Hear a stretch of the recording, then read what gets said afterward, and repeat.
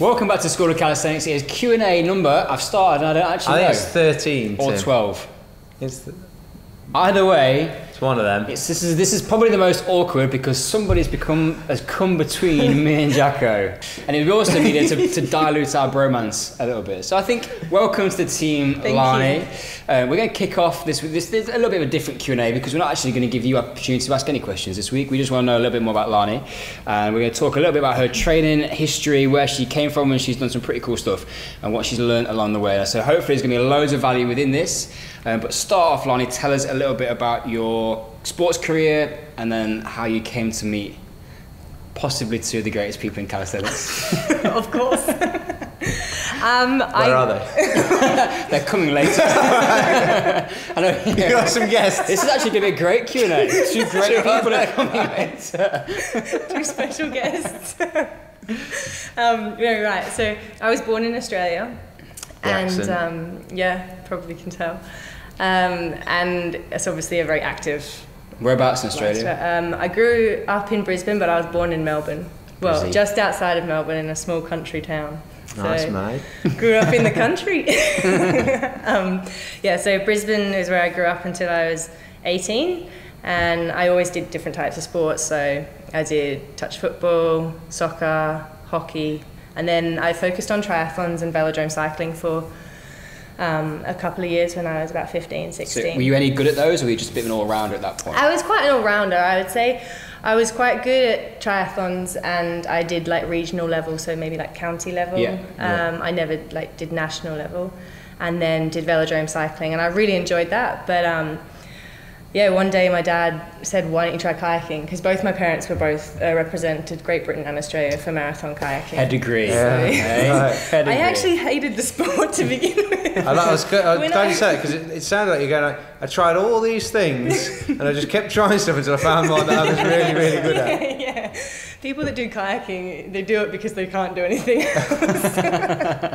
no, my parents did it, and they're like, "Why don't you try it?" And I, I gave it a go, and I actually really enjoyed it. When I tried it when I was like six, I was like, "No, I'm not doing this." Um, and yeah, I made it on the Australian team quite quickly, and I got to travel the world. So I was like, "I'm onto something here. Like, this is quite This cool. is all right. I get to go to Europe and." Yeah. And Yeah. how old were you at that at that stage? Uh, I was first represented Australia when I was 16. okay.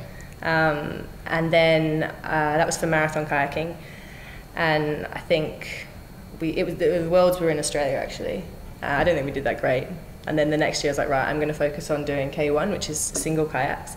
And I Sprint raced distance, right? uh, marathon, Marathon, straight, okay. yeah, for this one. And I actually I got silver medal at the world champs. So I was like, okay, cool. I'm liking Nice. this. This is quite cool. yeah. Um, From and actually then- going, Dad, this is a bit crap. To actually, Yeah. when someone goes, here's a medal, you go, actually, yeah, I quite like this. This is all right. Well, I loved running when I was younger. So marathon kayaking, basically, it's done on a lap system. So every lap, so I think you do five laps when you're a junior. Every lap, you have to get out and run with your boat. Yeah.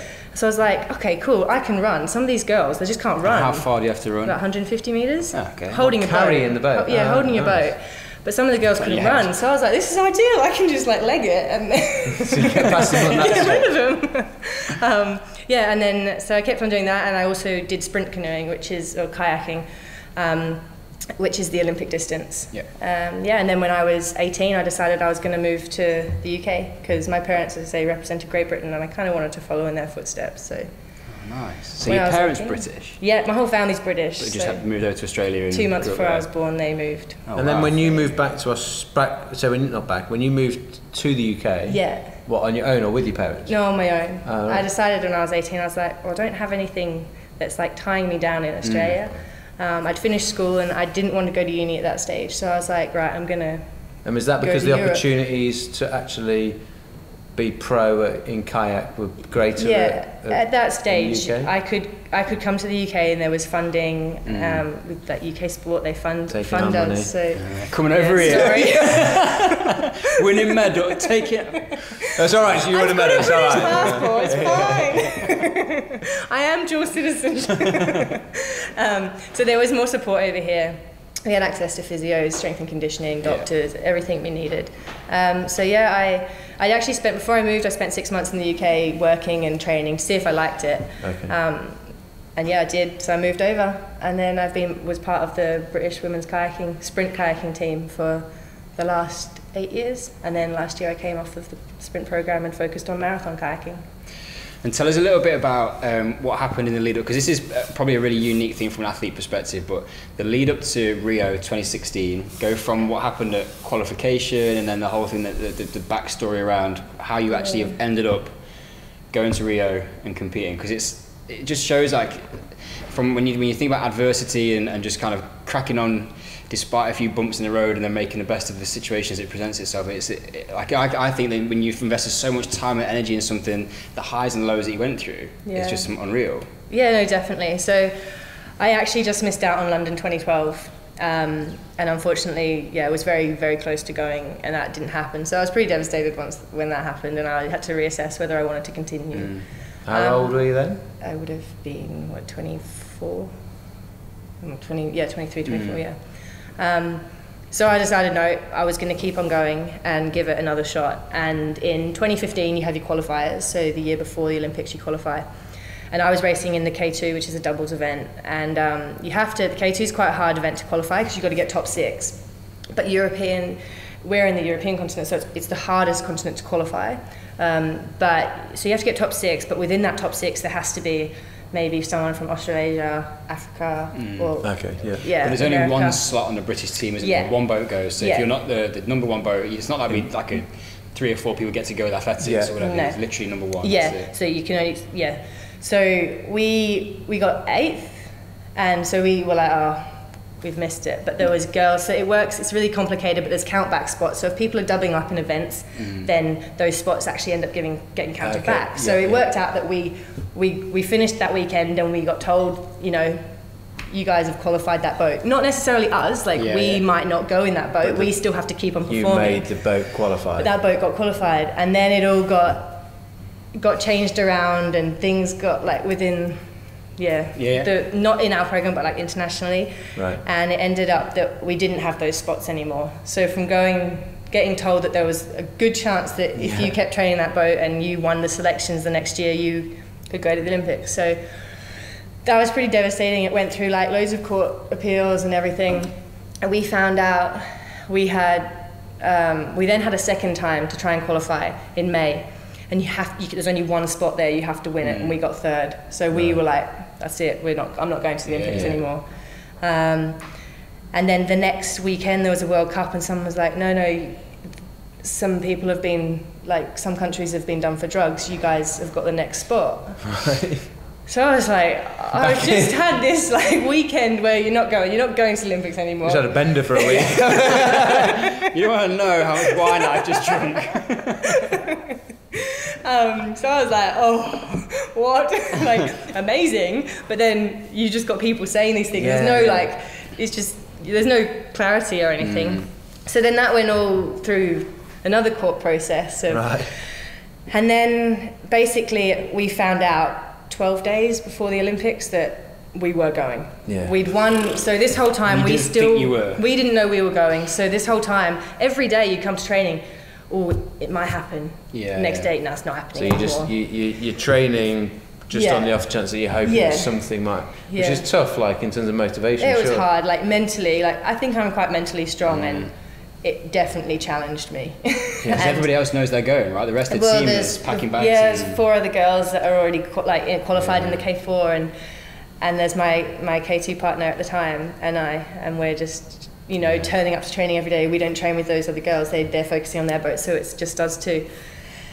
And um, yeah, that was hard because you'd have one day when I was down and she was up, and then the opposite. Yeah. So you use, you're helping. You have to try and pick each other up at Yeah. the same time. So yeah, to get to get the call to say we were going was in- incredible. Like it was such an amazing experience to go, but um, yeah, when we got there, like we, we didn't have the best results that Yeah. we, we could have got, but Less than ideal preparation. but yeah, it's really it's such a shame because you think like when you sit on that start line for an Olympics, you think you never think you're not going to be in the best Yeah, shape possible, yeah. and like we did everything we could, like we Yeah. couldn't have done any more, but I think mentally and like physically, it just Mm. drained us. I think it's really interesting because we do some work in swimming, and there's another um, guy that we, we do some work with that he won't mind me talking about, but James Curtin, and, and his story is, is similar. Like we kind of people will sit at home and they'll watch the Olympics and they'll see these guys. You're in the prime of your life. Oh, why did you not perform? And you said like, there's so much stuff which the media don't report. Like, and there's so, so, much many money stories. that goes into the sports and yeah, stuff. that- and it's actually a like people don't don't know the sorts of stuff you've been through. But a lot of the stuff that we do from a sports performance perspective is just trying to make that journey as smooth as possible. We don't Yeah. want any bumps in the road. We don't want any turbulence. So for you being, are we going? We're not going. We are going. We're not going. Right, you're going. flipping all of a sudden, like pack your bags, get on the plane, and, Yeah. and now go and perform. Like it's it's Yeah, a lot to do against Yeah. people that have be then in, in a field where there might be other people that have had problems, but there might be a lot of people who've had great preparation. Yeah. It's Yeah. then not a level playing field. Yeah. Uh, but then, and like, even you didn't even mention, but like picking up injuries and things along the way, like you Yeah. can be. Yeah. I could probably count on one hand the number. I played th- over 300 games of rugby, and I could probably count on one hand the number that I'd say I was 100% fit. Like you're always Yeah, carrying yeah. things that, and So from- sometimes it's just unlucky if it happens to be the week before you're going to the Olympics. Yeah, exactly. So from that whole experience, like, what do you think that? What have you taken away from it in terms of, like, how it's changed you, how you now see, like, and, re- and reflect on on your career and, and what happens next? And is, Yeah. it, is it was it is it left any sort of like lasting feelings or anything, or No, I think like I've got a never give up attitude. I Yeah. think, and and that was really important to me. I don't want to have any regrets, so I wanted to always make sure that I did everything and I left everything on the line. And I think straight after the Olympics, it was really difficult to come to terms with it because Mm-hmm. I was like, I should be really excited and really happy that I've just gone to Olympic Games, and on the other hand, I've just not done the performance I wanted to do. Yeah. So that was really hard to then not have a negative yeah, experience in my mind of the Olympic Games. And I think, but now I, I'm, I'm fine with it. Like I've come to terms, like I worked so hard to get to that point, and I deserve to go. I know I deserve to go to the Olympic Games. So when I look back, I, I don't necessarily just look at the Olympics. I look at the the pathway to Oh, that yeah. and what I put in every year to get to that point. So I think that's awesome because it, like, being an Olympian is a is, a, is an, an incredible privilege, and you, there's a lot of stuff that goes into it. But if you, the sorts of things that we can take out to, from that, from people that are watching is it's is that process of actually just hmm. stayed in the game and you just kept on working. Yeah. And we have a phrase in sport, and it gets bounced around quite a lot now. But you can control the controllables. like in that situation, there was so much was out of your control. So all you had to do, or all you could do, was just keep training. And there would have been stuff over the years that were leading into that. Yeah. But it's just like you say, just don't give up, don't give up, don't give up. And whether that's bring that into calisthenics, if someone if you're trying to do something, it's your first impossible. Like going to the Olympics when you were 16, you'd go, oh, I don't know, like hmm. I don't think I'm going to go. Like it's it's Yeah. a big deal. Like I, I've got to do this, and I've got to pass this event. Like, but you stayed in the game, you kept on working, and you achieved a dream. And no one can ever then take that away from you. You are an Olympian. And Yeah. That's cool. Like yeah, no, it's there'll really be some cool. stuff that you look back on and you go, okay. Yeah, but I don't know there's how many people go to the Olympics, the percentage of, of Olympians of all time who don't look back on it and go, I'm not fully happy with how that went. Yeah, Like unless you're going to break a world record and win a gold medal, even then, like we've had, I've trained athletes. There's one girl who went to the um, Paralympics, broke a world record by two seconds and came second. And you're like, what does it take to win a gold medal? yeah. but she still like was two seconds better than she'd ever been before and it's so I think it's I, I don't know I guess what I'm saying is that, that it, it, it's such a complex thing but the, the consistent thing that we see from people is you just got to work for it and you got to stay stay in it and you never know where it might go yeah. Yeah, and like with the with this the journey that we go through in calisthenics, a lot of the time we're we're working towards doing something that feels impossible, and there's a lot of controllables that are in your control, but there's some that are outside of them, and and it's a case of just getting happy with those and just working with what you've got, being com- uh, being complacent. No, what's the word I'm looking for? Not like complacent, like. Um, you know, when you're happy, like Is it a C- content. Is it- content. Is it, is it a C word It was a C word, yeah. how many syllables Don't say it? After the Olympics, fast forward a year and you focus on kayak, marathon, yeah? Won the world championship, I did, yes. tick. world champ Um, and then it was, but it was during that point as well when you started to focus on that and when you started to get introduced to, or you, you, you met up with Tim, and I'll let Tim tell the story a little bit, but I just remember Tim ringing me up and going, Yeah, I've, I've met Lani, she's flipping massive. like stats, right? Stack as in like I didn't, say, I didn't say that. Never talk As in about a lady like that. Like she's way bigger than us. Um, yeah, so as a, we have a, a colleague, or a mutual friend really, that I've known for a long time um, called Emma, who is working as a performance lifestyle advisor. And she got in touch with me and said that there was a, one of her athletes, and she you didn't have a name to start off with because of this confidentiality thing. So I was talking about an anonymous person. um, so we had a conversation about about Lani, and she was in Nottingham, wanting to transition out of um, out of the sport into working in, in health, fitness, PT. Um, and did I know anybody that might be able to sort of guide her? So I was like, oh yeah, cool, we'll have a conversation. I always like to meet up with athletes because it's just nice people. so I thought we could have a coffee at least. Um, and then we sort of we just met up, and then we've obviously got the, the Paralympic side of stuff, but with with Lani's background in um, in kayaking, I said to Dave before I went down, I guess she's going to be flipping strong, because the, the amount of gym work that these guys do is uh, is impressive. And um, I've, I've, I've seen kayakers and, and worked with them before, and so we. Um, did we go in the gym that first day or not? I can't remember. Yeah, I think I came and shadowed one of your sessions. Ah, that's right. Yeah, with Rich and some Yeah. of the guys, and then we trained a little bit, and then like so we get around, and, and Lani like she just took her hoodie off. And I looked at her shoulders and I went, oh, flipping jealous of those. I was like, think I remember you even doing that. crikey! And I rang Dave up and I went, you see the size of her biceps. in, a, in a nice way. Okay, thanks. In a, yeah, I in worked an hard for these. way, I know.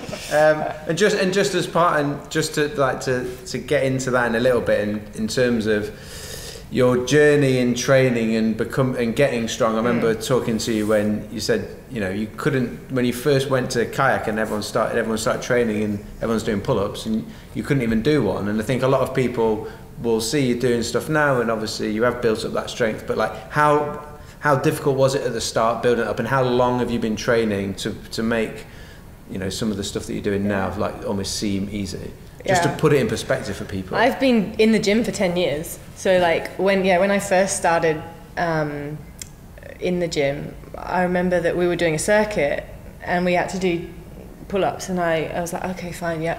And I went to do one and I couldn't even do one. I think it was 30 seconds on, whatever off. I was like, well, I can't even do one. That's a waste of 30 seconds, isn't it? Like, what am I going to do? Just stand here and twiddle my thumbs? like, Just do some bicep curls Yeah.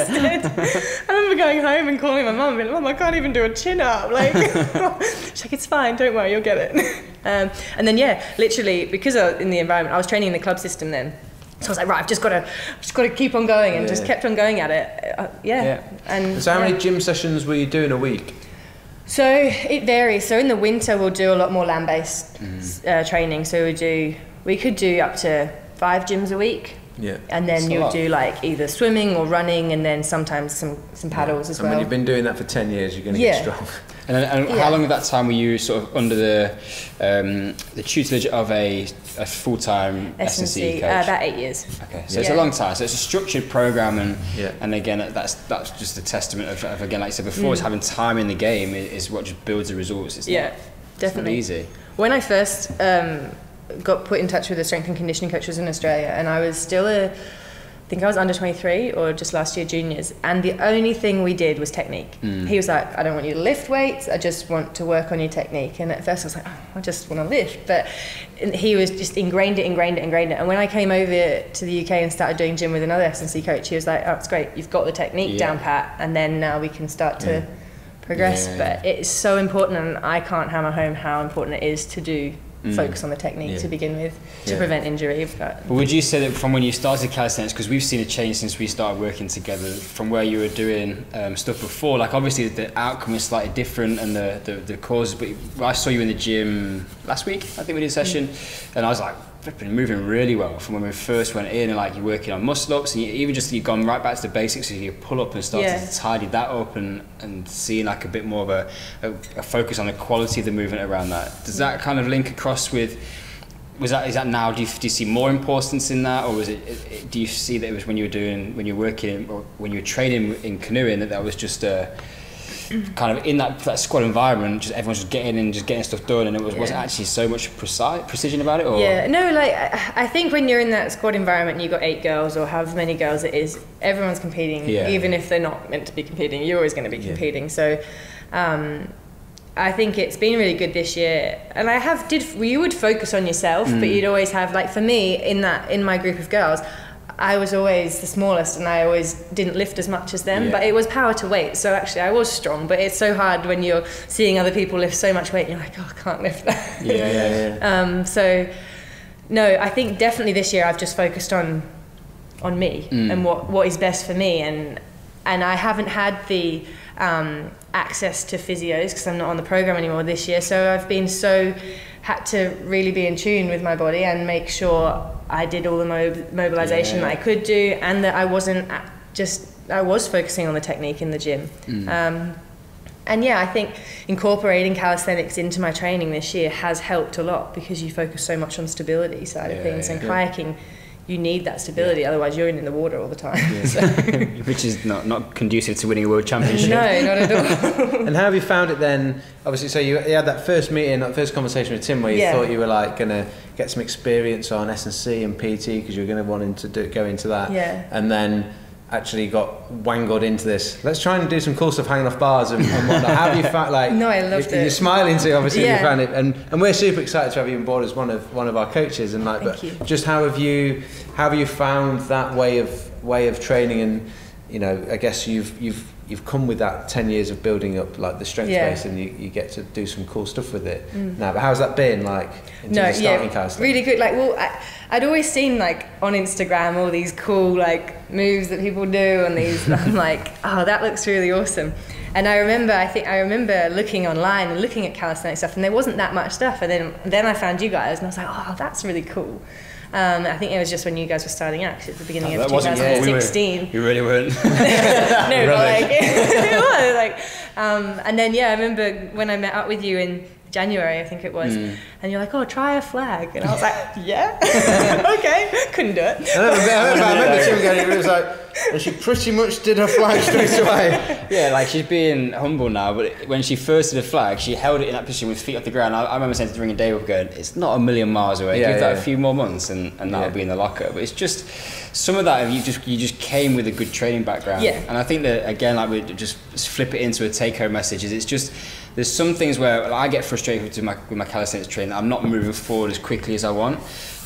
But getting getting strong and, and fitting that all together, like it's not it's not we, we it's been massively oversimplified in some cases by the fitness industry, and that we think we can just constantly it's just getting just getting stronger. Yeah, you do, but it, it takes time. But it, Yeah. especially in calisthenics, it's not the same as just lifting dumbbells week in week out. We're asking ourselves to, to move in brand new ways, Yeah. to create tension in new ways, and if you, especially like like us, slightly older, like we're not nine, ten years old anymore. Like the, the system's got a, a little bit more stress in it, and there's a bit more of a, um, a, a higher demand on, on us actually learning or high complexity of learning new skills. Um, so just throwing it all in, it's, it's, not, it's not easy. But the thing that you've got to do, again, it goes back to what you're saying about the, the games experience before, is it's just, even though there's going to be plateaus and there's going to be difficult times, like just keep training and mix it up into things that you enjoy. And, and I guess that's been something for you that you've had 10 years of gym training where like kayak training for the for the gym is from an S&C coach is probably not that exciting. It's quite It's a lot of push and pull, right? A lot of push and pull, push and pull, push and pull, and a bit more push and pull. So to come out from where you've been from an athletic perspective and then now actually come into calisthenics and go like, I want to hmm. learn to muscle up and you've, you've now got that a little bit of a love for, for learning and love for movement Yeah. back in and something which you can, you can apply what you've done before but then also like now you've got new things which you can't currently do Yeah. and I guess that's probably quite a humbling thing for I'm an Olympian and then you come in the gym like everyone gets Yeah, that in yeah. calisthenics you come in the gym all of a sudden you go I think I should be able to do that why can't I do a ring muscle up Yeah. which you can now do well, yeah, it's just like the one thing I, I really like about calisthenics, and it, it's similar similar with kayaking, is they're both very technical. And for me in kayaking, I had to be very good at my technique Mm. because I wasn't the strongest. So I couldn't rely on my strength in the water. I needed to make sure I was being efficient, as efficient as possible. And with calisthenics, you can be as strong as possible, but if you're not using the right technique and going through those steps, Yeah, you're not going to get to the end result. So that's what I really like about it as well. And yeah, and it's so nice to be able to challenge yourself again. Working in the gym for 10 years, it's, it does get a bit boring. yeah, yeah. And um, I just love the functional side of it as well because yeah, I never want to. I've always said like I never want to get to a stage where I can't lift my own body weight, Yeah. and I think it's so important that everyone can can, do- can do that because you never know when you're going to need to pull yourself out of something or, or whatever. Yeah, yeah, And it might be the same for you, like, it'd interesting to know it's the same for you.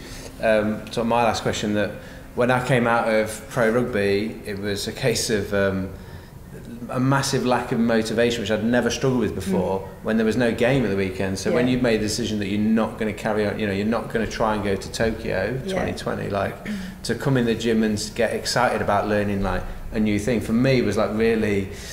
Uh, it's like a new lease of life in terms of my training. Yeah. Um, Definitely. Well, like, as I say, this year I've structured, like I've been training at my canoe club in Nottingham, Nottingham Kayak Club, and we've, you know, my I've structured my training how I want to. So I've got a coach down there, um, Norman, and he he'll plan our water sessions, and then you know we do our gym as a group. We decide what we want to do. I've got these sorted.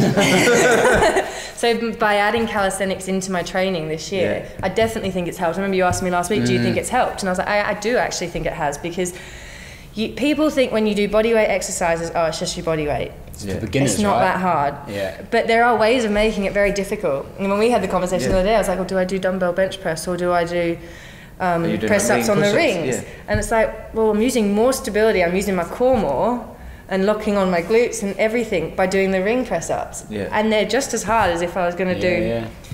try and get 12 reps out on a certain weight of dumbbells. So it's a really, I'm really loving it. I think it's Yeah. great. So last question from me then. So from a calisthenics perspective, what's what are you working towards? What are your goals? what's your, yeah, what's in what's in the impossible box? Yes. I want to do be able to do a handstand and hold it for 30 seconds or yeah and A- make a- a it comfortable nice- just okay. a nice yeah Tidy it up yeah and muscle up definitely like on the bar on the bar. yeah to be fair I wouldn't do it all really Yeah, I'm yeah. an athlete I don't want to All stop of. I don't Yeah, like a flag definitely but I think when I first started I was like I want to do this I want to do that I want to do this and you it almost can be overwhelming because you're like Yeah. trying to work on everything but I Mm. think it's important just to focus on one or two and then once you've got that down pat move on Sounds like Stevenson. good. Sounds like Tim. She's good. hey. it's true So that we're gonna wrap it up, I think. Yeah, yeah. I hope this is obviously Lani, and I hope you've enjoyed getting to know her a little bit better. We certainly have, and we're really excited to to uh, be doing more stuff with Lani, and you're going to see loads more coming out from her in terms of tutorials. And we're going to try and do some stuff that's focused around a little bit some specific stuff for females um, as well, which is a really cool little area for us to be looking at as well. Perfect. Nice. So if you're not already subscribed to our YouTube channel and you want to see some more of these beautiful people, then you need to tick up there in that box. We've got our free beginners guide, which is going to give you everything you need to get started in calisthenics, somewhere around Dave's armpit. and for last week's Q&A, that's up there. Click that and have a watch. And until next time, Class dismissed. she's good.